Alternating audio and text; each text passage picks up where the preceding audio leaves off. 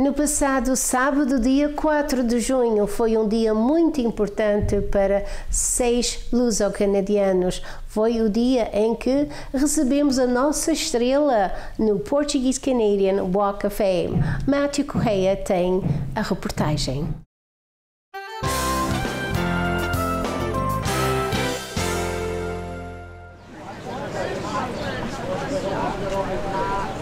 Depois de alguns anos de ausência devido à pandemia, realizou-se novamente a cerimónia dos Portuguese Canadian Walk of Fame.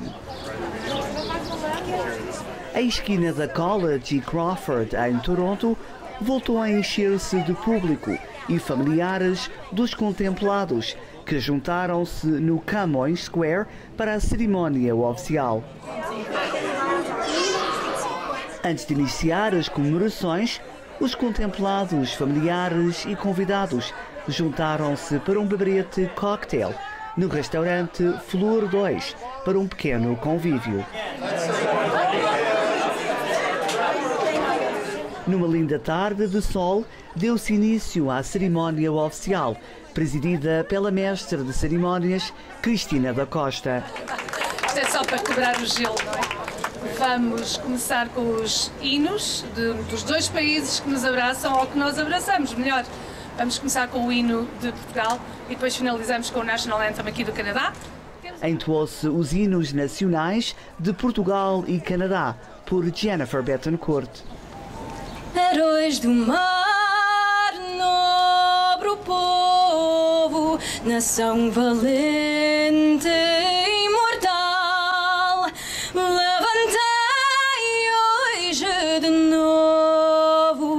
esplendor de Portugal. Oh,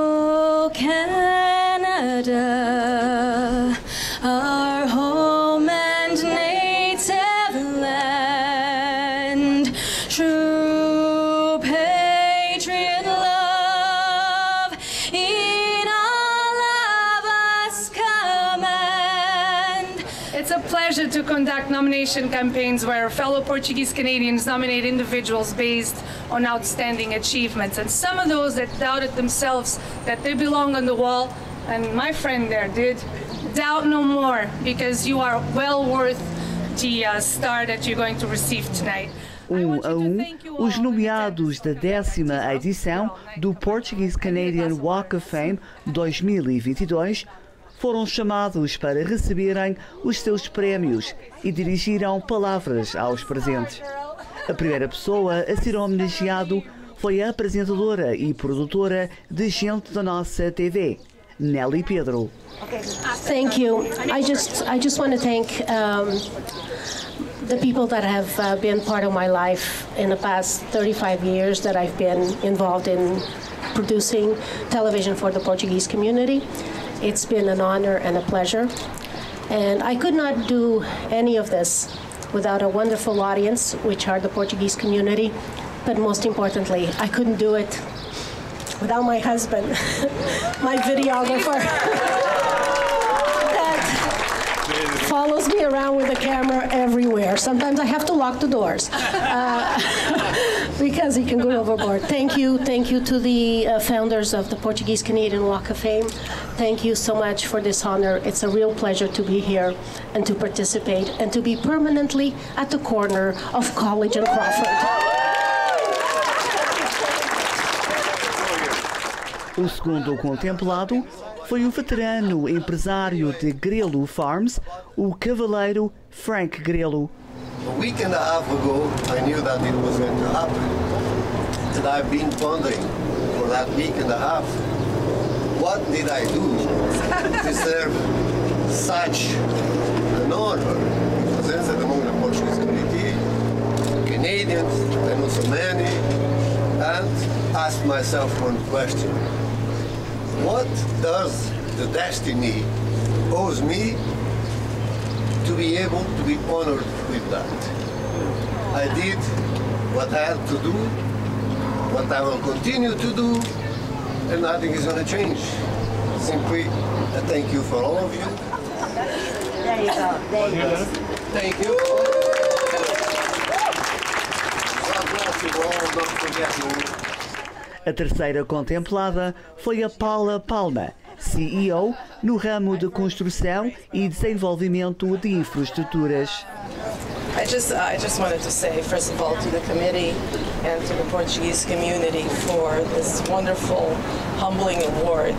Um, I don't feel like I, I deserve it, but I'm so grateful to be in great company and to have the opportunity to be part of our Portuguese community. O renomado fotógrafo dos famosos, George Pimentel, também recebeu a sua estrela. I'm humbled and honored. Uh, this is a great day, the beautiful day on College Street. Um, I just wanted to just thank. There's too many people for my journey from uh, helping my father, who taught me everything. Who not even about photography, just to be human, uh, to be honest, to be uh, representing your name. Uh, it's very important, and he just taught me, you know, just do a good job, and they'll always call you back. And it's very simple, but it's it's good philosophy. A quinta pessoa a ser homenageada foi a vereadora e vice-presidente da Câmara de Toronto, Ana Bailão. Um, I, I, am humbled and privileged, and this has a special meaning for me because I really feel like I'm a product of this community. I, I came when I was 15, and I think the way that uh, I adapted to this country, 15 is a tricky age, right? You leave your friends behind, and so I thought it was the end of the world. And the way that I had to adapt is really to get involved in the community and, and get that sense of belonging from the community. And so everything that I've learned about community organizing, community participation, everything that today I've put through as a deputy mayor of this city, it was learned in this community. And I truly believe that you never, never should forget where you come from and always look back. A sexta estrela foi para o ex-diretor da Saúde Pública da província de Quebec, Dr. Horácio Arruda. Uh, really, I don't know why I'm here because I really just feel I do my job as it's possible to do, as any Portuguese do, by this heart, by passion, and in a good way, and with respect. You know, in society, the people who are not in front are also very important for us the people who make the bread for us every day morning, the people who take away our, our garbage in the, are very important. And I want to share that with all the immigrants who left their country for a better world for their kids. Foram também homenageados dois empresários com uma homenagem póstuma no título de Community Builders Award para Virgílio Pires e David Tavares.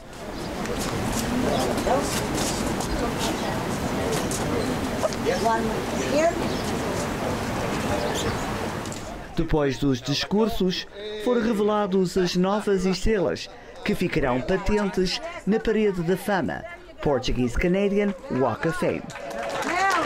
More time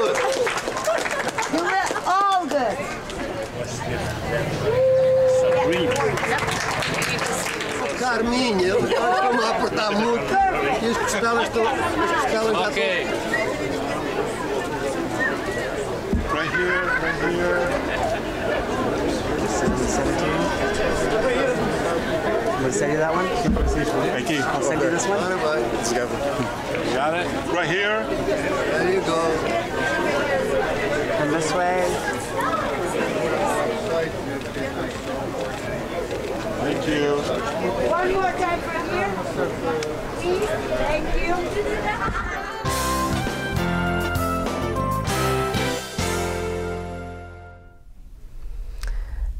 Depois destes bons conselhos, vamos continuar a apresentar mais imagens da celebração dos seis luso-canadianos que receberam a sua estrela na esquina da College e Crawford, no Portuguese Canadian Walk of Fame, Camões Square.